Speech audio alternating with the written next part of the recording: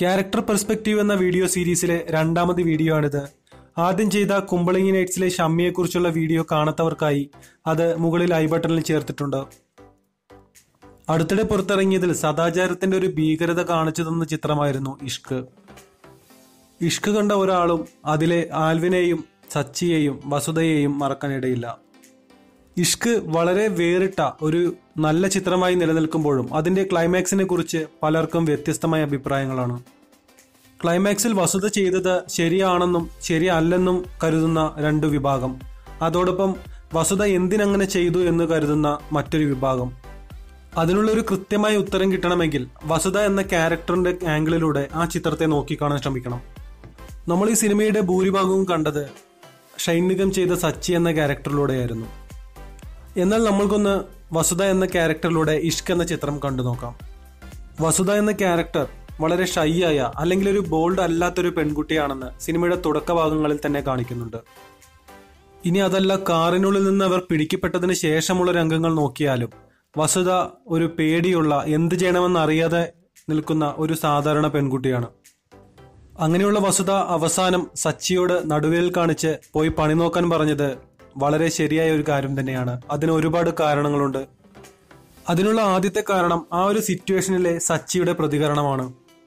കാരണം ആ ഒരു സിറ്റുവേഷനിലെ സച്ചിയുടെ പെരുമാറ്റം യാതൊരു ധൈര്യവുമില്ലാത്ത ഒരാളിനെ പോലെയായിരുന്നു. ആൽവിന്റെ പെരുമാറ്റം അതിരുകടക്കുമ്പോഴും ഒന്നും ചെയ്യാതെ പേടിച്ചു നിൽക്കുന്ന സച്ചി. ആ ഒരു സിറ്റുവേഷനിൽ സച്ചി കാമായി പെരുമാറുന്നതിന് എന്തു തന്നെ കാരണങ്ങൾ പറഞ്ഞാലും ഒരു പെൺകുട്ടിയെ സംബന്ധിച്ച് ആ ഒരു സിറ്റുവേഷനിൽ അങ്ങനെ പെരുമാറുന്നത് വളരെ മോശമായ ഒരു കാര്യം തന്നെയാണ്. തുടക്കത്തിൽ വസുധ സച്ചിയോട് ഒന്നും ചെയ്യണ്ട എന്ന് പേടിയോടെ പറയുന്നുണ്ടെങ്കിലും ആൽവിന്റെ പെരുമാറ്റം അതിരുകടക്കുമ്പോഴും സച്ചി ഒന്നും ചെയ്യുന്നില്ല എന്നുള്ളതാണ് സത്യം. അതുകൊണ്ട് തന്നെയാണ് സിനിമയുടെ പകുതിയിൽ സച്ചി വസുധയോട് ഞാനൊരു ആണാണെന്ന് പറയുമ്പോൾ ഈ ആണത്തം അവിടെ കണ്ടില്ലല്ല എന്ന് വസുധ പറയുന്നത്. രണ്ടാമത്തെ കാരണം വസുധയോട് സച്ചി കാണിക്കാത്ത കെയറിംഗ് ആണ്. സത്യത്തിൽ ആൽവിനുമായിട്ടുള്ള പ്രശ്നങ്ങൾക്കിടയിൽ പോലും വസുതയെ സച്ചി കെയർ ചെയ്തിട്ടില്ല എന്നുള്ളതാണ് സത്യം. അത് മാറ്റി നിർത്തിയാൽ പോലും ആൽവിൻ പോയതിനു ശേഷവും സച്ചി വസുതയോട് ഒരു കെയറിങ്ങും കാണിക്കുന്നില്ല. ആ യാത്രക്കിടയിൽ ഒരിക്കൽ പോലും വസുതയെ ആശ്വസിപ്പിക്കാത്ത സച്ചി അവസാനം ചോദിക്കുന്നത് അയാൾ നിന്നെ കാറിൽ വെച്ച് എന്ത് ചെയ്തു എന്നാണ്.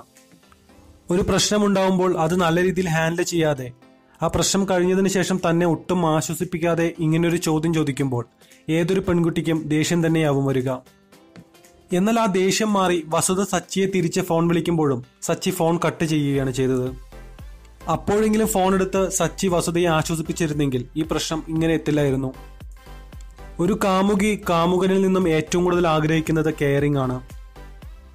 എന്നാൽ സച്ചിയിൽ നിന്നും വസുതയ്ക്ക് അങ്ങനെ ഒരു കെയറിംഗ് കിട്ടിയിട്ടില്ല എന്നുള്ളത് തന്നെയാണ് സത്യം. ഇനി മൂന്നാമത്തേതും അവസാനത്തേതുമായ കാരണം സച്ചിക്കുള്ള സംശയമാണ്. ഒരു പ്രശ്നം കഴിഞ്ഞതിന് ശേഷം വസുതയെ ആശ്വസിപ്പിക്കാതെ.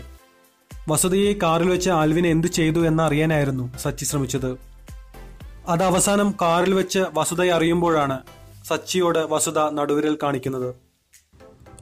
ഈ മൂന്ന് കാരണങ്ങൾ വെച്ച് നോക്കിയാലും വസുത സച്ചിയോട് കാണിച്ചത് വളരെ ശരി തന്നെയാണ്. ഒരു പ്രശ്നത്തിലേക്ക് എത്തിപ്പെട്ട് നല്ല രീതിയിൽ അത് ഹാൻഡിൽ ചെയ്യാത്ത ആ പ്രശ്നത്തിന് ശേഷവും തന്നെ ഒട്ടും ആശ്വസിപ്പിക്കാതെ തന്നെ സംശയിക്കുന്ന ഒരാളെ ഒരു പെൺകുട്ടി ഒരിക്കലും ഇഷ്ടപ്പെടില്ല. ഇതാണ് ഇഷ്ക് എന്ന ചിത്രം പറയുന്ന പ്രണയം. ഇഷ്ക് എന്ന ചിത്രം കണ്ടപ്പോൾ ഞങ്ങൾക്ക് തോന്നിയ കുറച്ച് കാര്യങ്ങളാണ് ഈ വീഡിയോയിലൂടെ പറഞ്ഞത്. ഒരുപക്ഷെ നിങ്ങൾക്ക് ഇതേക്കുറിച്ച് മറ്റൊരു അഭിപ്രായമായിരിക്കാം. അത് തീർച്ചയായും കമന്റ് ചെയ്യും